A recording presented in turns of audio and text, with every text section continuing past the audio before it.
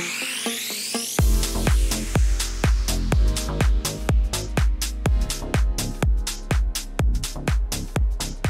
guys, Dave here again, the AAA coach. Scott here at Pikes Peak Hunting Club having a great time.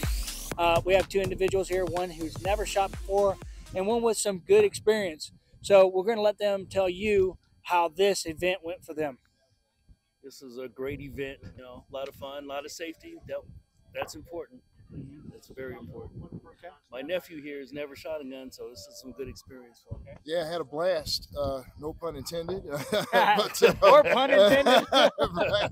But yeah, like like like I like we agree, very safe, very Uh-huh. fun, a good staff, very friendly, and uh, definitely recommend it to anyone. Absolutely. So, what was your uh, favorite firearm to shoot today? The shotgun. With the shotgun? Yes. Yeah.